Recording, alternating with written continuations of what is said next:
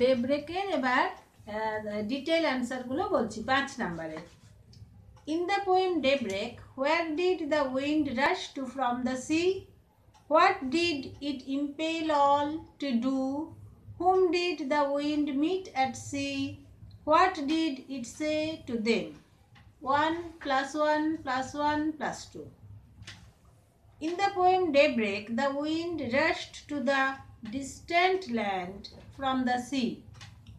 The wind impels IMPELS all to usher in fresh, lively activities with daybreak. At the sea, the wind met MET, the mist, the ships, the mariners. In the poem Daybreak, the sea is covered with mist, so it asked the meat to uh, uh, mist to make room for its movement. The wind greets the ships and asks the sailors to sail on. তারপরে প্রশ্ন describe the activities of the wind while announcing the daybreak daybreak why is there a shift in tone in the f- final couplet এর সাথে অরে, or বা একই প্রশ্ন what role does the wind play in announcing the beginning of the day how is the final couplet different from the rest of the poem তার আরেকটা প্রশ্ন narrate the wind's activities as presented in the poem daybreak আমি না test paper থেকে তোমাদের যা যা এখন অবধি যত যা প্রশ্ন বলেছি, সমস্ত কিছু টেস্ট পেপার থেকে নিয়ে সেই কোশ্চেনগুলো সলভ করবার চেষ্টা করেছি। সেই প্রশ্নগুলো আমি তোমাদের এখানে একসাথে করে তোমাদের মানে বলে দিই। আমি যে প্রশ্নগুলো বলি সেগুলো কোত্থেকে পাই, সেগুলো আমি টেস্ট পেপার থেকে নিয়ে করেছি। তোমরা অবশ্যই টেস্ট পেপারগুলো দেখবে সলভ করবে এবং তারপরে যা যদি আরও কিছু নতুন প্রশ্ন থাকে সেগুলো বলবে।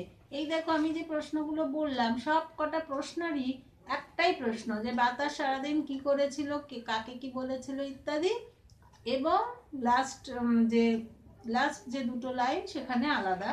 আলাদাটা কি?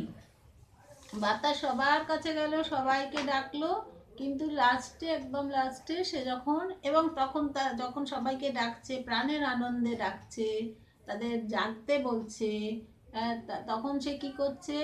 সেড বলেছে ক্রাইড বলেছে শাউট বলেছে আনন্দে চিৎকার করা সব কিছু বলছে। কিন্তু যখন সে লাস্টে কোথায় গেল? নাচার চেয়ারের পেছন দিকটা গেল কবরখানায় কবরের জায়গায়। সেখানে কি করল? সাই এসআই জিএই চৌকি দীর্ঘশ্বাস ফেলল। ও কিন্তু এত যে মানে আহ, মানে যেটা জীবন্ত মানুষজন, মানুষের সাথে সম্পর্কিত, সকলের সাথে ও যেমন কথা বলল, যেমন সবাইয়ের কাছে গেল, কিন্তু যারা আর কোনোদিনও উঠবে না, ও কিন্তু তাদের কাছেও গেছে, তাদের কথাও কিন্তু ও ভোলেনি সেটাই এই কবিতাটার একটা বিশেষ মাত্রা এনে দিয়েছে। অ্যান্সারটা বলছি the wind arising out of the sea announced breaking of the day the wind asks the mist to make room for it. It asks the ship to sail on, cheers the seamen to get out of bed as the sun arises. Then wind rushes into the forest and stimulates it to portray its green leaves, touches the wood bird's folded wings, says the birds to rise and sing. It greets the corns in the cornfield to bow its, its head low, to bow its head low and welcome the upcoming day. It calls through the belfry tower to announce the beginning of a new dawn. However, in the last two lines of the poem, we notice a contrast. In the entire poem, we can see life brimming.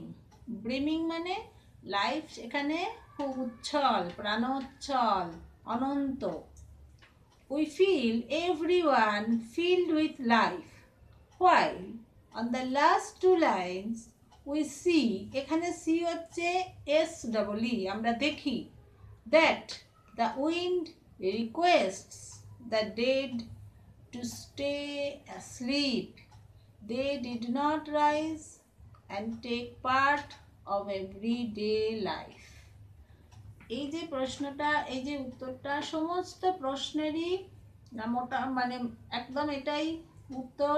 Substance বলো summary বলো, যাই বলো, যে প্রশ্ন যেভাবেই আসুক এটা উত্তর। আমি সেটা তোমাদের বলে দিলাম, করে দিলাম, যতটা এমসিকিউ এ সম্ভব করে দিয়েছি। এবার পড়ো, কবিতাটা বার- বারবার করে পড়ো। ভালো, খুবই ভালো কবিতা অবশ্যই। আর আর দেখো, মনে হয় বুঝতে পারবে। এরপরে আমি তোমাদের নন্দলাল বসুর প্রোজটা পড়াবো।